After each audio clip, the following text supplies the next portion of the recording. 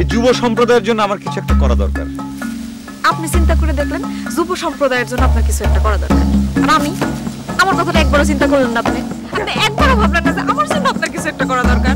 ও আমি তোমার কথা চিন্তা কেন করব না? আমি তোমার জন্য সবকিছু করতে পারি। তোমার জন্য আমি আমার এই জীবন ছেড়ে দিতে পারি। সব করা লাগবে না। জীবনও ছাড়া লাগবে না। আপনি শুধু আমার জন্য।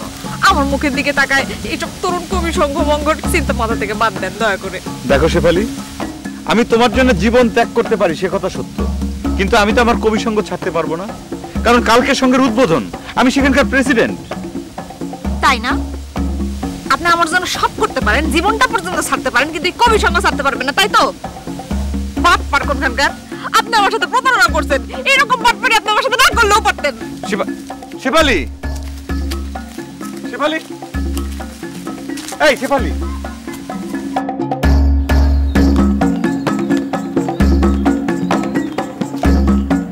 এই এই শোন শোন এমন ছোটাছুটি করে কই যাচ্ছিস কবি সংঘের উদ্বোধনে সবাই যাচ্ছে। কেন? ওখানে বিড়ি দেবে নাকি? বিড়ি? উদ্বোধনী সবাই আবার বিড়ি কিসের? কেন? ওখানে যারা আছে সবাই তো সারাদিন তাস পেটায় আর ধোয়া ওড়ায়। দেখেন ওইরকম নেতিবাচক চিন্তা করবেন না। ধোয়া উড়াক আর তাস পেটাক ওরা এখন একটা ভালো কাজ করতেছে পারলে উৎসাহ দেন। আচ্ছা ঠিক আছে যা। প্রিয় সুধী আজকে আপনাদের সামনে আমি যাকে পরিচয় করিয়ে দিচ্ছি উনি আমাদের তরুণ কবি সংঘের প্রেসিডেন্ট। উনি শুধু আমাদের এই সংঘের প্রেসিডেন্টই না, উনি আপনাদের অত্যন্ত পরিচিত একজন প্রতিশ্রুতিবান কবি কবি একবালি চৌধুরী।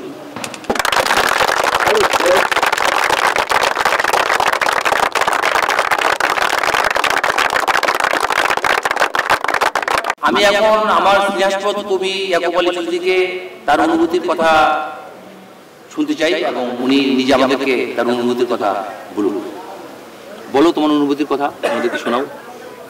ধন্যবাদ রোহিত ভাই। সত্যি আমি ধন্য। আজকের এই তরুণ কবি সংঘের এই আসনে বসতে পেরে আমি নিজেকে ধন্য মনে করছি। আমি আমার কথা আমার কথা বলার ভাষা হারিয়ে ফেলেছি। কিন্তু যে কবি, সে কথা বলার ভাষা হারালেও তার কবিতার ভাষা কখনো হারায় না। তাই তো আমি আপনাদের সামনে আজ একটা কবিতা শোনাতে চাই। শোনো বন্ধুগণ, শোনো।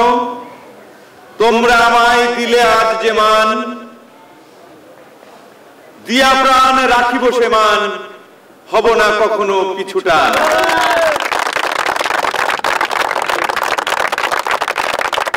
নর্মালি আমাদের এই আনুষ্ঠানিক যাত্রা শুরু থেকে শেষ হলো। এখন শুরু হবে স্বরচিত কবিতার পর্ব। পর্ব না পর্ব পর্ব পর্ব। পর্ব পর্ব পর্ব। এখন স্বরচিত কবিতা পাঠ করবেন এমন একটি ছেলে যে সদ্য নারী গঠিত ব্যাপার নিয়ে প্রতারিত হয়েছেন, এমন একটি ছেলে যে ছাকিয়েছেন তার কবিতা শুনতে চাই, তার নাম হলো হিজবুতুল্লাহ।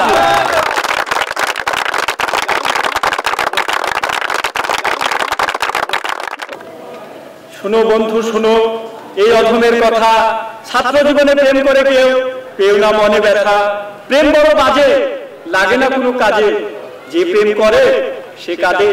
সকাল, বিকাল, সাজে। সবাইকে ধন্যবাদ।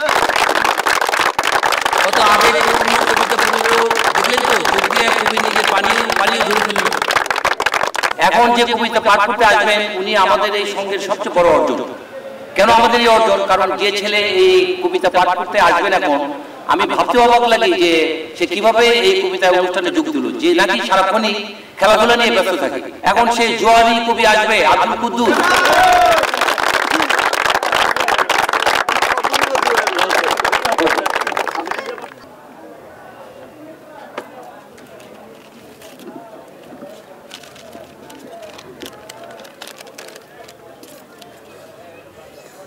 বাসে উঠতেই নেমে পড়লাম সুমনার প্যান্টের পকেটে। আমার জ্যাকে আব্বা মাকে চিনতে পারল আমারই ভুলে। আমার প্যান্টে